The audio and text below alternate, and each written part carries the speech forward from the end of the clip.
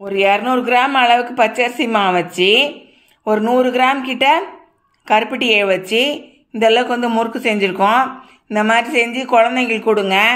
பெரியவங்க உடம்பு நல்லா இருந்தாங்கன்னா அவங்களுக்கும் கொடுங்க. ரொம்ப நேரம் வந்து முறுக்கை வேக விட்டுறாதீங்க இல்லைன்னா கடுக்கு கடுக்குன்னு இருக்கும். பார்த்து பதமாயிடுங்க. கொஞ்சம் லேசு ப்ரௌன் இந்த இந்த இந்த அளவுக்கு இந்த ப்ரௌன் இந்த அளவுக்கு ப்ரௌன் வந்தோடனே இந்த அளவுக்கு வந்தோடனே எடுத்துருங்க. இந்த அளவுக்கு ப்ரௌன் வந்தோடனே. விருதுநகர் ஆட்சி சமையல் இது சப்ஸ்கிரைப் பண்ணுங்க லைக்ஸ் கொடுங்க ஷேர் கொடுங்க நன்றி. கருப்பட்டி வந்து நம்ம எடுத்திருக்கோம் இந்த பேப்பரில் கருப்பட்டியை வந்து நல்லா வந்து சுற்றில ஏதாவது ஒரு ஸ்ட்ராங்கான இதை வச்சு தட்டி தட்டி தூளாக்கியாச்சு. வந்து ஒரு ஐம்பது எம்பல் கண்டு தண்ணி எடுத்து இந்த பேனில் எடுத்து ஊற்றிக்கலாம் இப்போ வந்து. இதை வந்து கொதிக்க வச்சிடணும். இதை மீடியம் ஃப்ளேமில் வச்சு கொதிக்க வைங்க. தண்ணி வந்து நல்லா கொதி வந்துருச்சு. இப்போ உடச்சி வச்சு அந்த இந்த இது இருக்குல்ல க கருப்பட்டியை வந்து எடுத்து உள்ளே போட்டுக்கலாம் இல்லை கருப்பட்டி எல்லாம் நல்லா கரைஞ்சி வந்தாச்சு.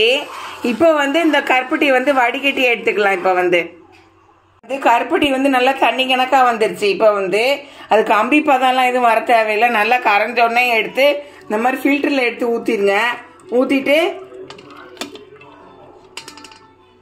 வடிகட்டி வச்சிருங்க. நல்லா தூசி தும்புமா இருக்கும் அதனால. கருப்பட்டி வந்து இந்த அளவுக்கு வடிகட்டியாச்சு.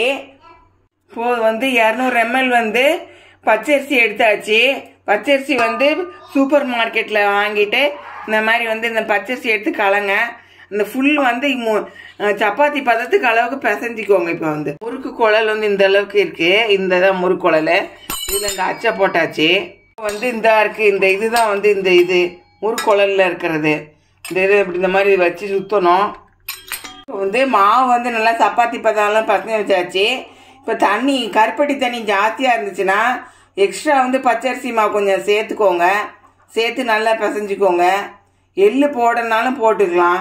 வந்து இந்த அளவுக்கு வந்து இந்த அளவுக்கு வந்து மாவு எடுத்தாச்சு. இந்த மாவு வந்து இப்போ வந்து இதை மாவை எடுத்து இந்த இதுக்குள்ளே இந்த மாதிரி நல்லா இது அமுக்கிட்டு இந்த இதுக்குள்ளே வந்து மாவை வந்து இப்படி வச்சு வரணும் இப்படி மாவை. இன்னும் கொஞ்சம் மாவு கூட எடுத்து இன்னும் கொஞ்சம் மாவு எடுத்து அதையும் இந்த இதுக்குள்ளே வச்சிடணும். ம். இப்போ வந்து இந்த இந்த இதை எடுத்து குழல் எடுத்து இப்படி வச்சுட்டு நல்லா திரி திரி இந்த மாதிரி இந்த மாதிரி நல்லா திரி திரி விடணும் இந்த மாதிரி. வந்து இந்த அச்சை வச்சு நம்ம இந்த வந்து இந்த எண்ணெய் வந்து சின்ன கடாயில் எடுத்திருக்கோம்.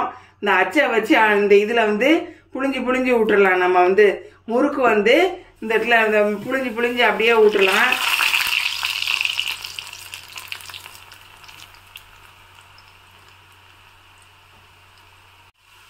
சின்ன கடையாக இருக்கிறதுனால நமக்கு வந்து ஈஸியா வந்து எண்ணெய் வந்து நிறைய செலவாகாது. இது இரும்பு கடாய் இது வந்து. இப்போ வந்து நல்லா வெந்து வந்துட்டு இருக்கு இப்போ வந்து ஒரு பக்கம் வெந்துருச்சு. இப்போ இன்னொரு பக்கம் வந்து திருப்பி போட்டுடலாம் இந்த பக்கம் திருப்பி போட்டுடலாம் நிறைய பபுள்ஸ் பபுள்ஸாக வருது. எல்லாம் வெந்துருச்சுன்னா மீடியம் ஃப்ளேம் கேஸில் வந்து மீடியம் ஃப்ளேமில் வச்சுருக்கேன். நல்லா வெந்துருச்சுன்னா வந்து இந்த கே அந்த ப- அந்த பபுள்ஸ் பபுள்ஸை முட்டை முட்டையாக வராது அது. சத்தமும் அப்படியே கொஞ்சம் கொஞ்சமாக நின்றுடும் அதான் வந்து வெந்திருக்குன்னுங்கிறதுக்கு அர்த்தம் வந்து. இப்போ வந்து நல்லா ரெண்டு பக்கமும் நல்லா வெந்துருச்சு. இப்போ வந்து எடுத்துடலாம் அந்த அளவுக்கு வந்து இந்த அளவுக்கு வந்து வெந்து வந்திருக்கு. எடுத்து தனியாக வச்சிடலாம் இப்போ. இப்போ கேஸ் ஃப்ளேம் வந்து சிம்மில் வச்சுக்கிட்டேன். இப்போ வந்து நல்லா புளிஞ்சு புளிஞ்சு விட்டுருங்க. நல்லா வந்து கேஸ் ஃப்ளேம் சிம்மில் இருக்கட்டும்.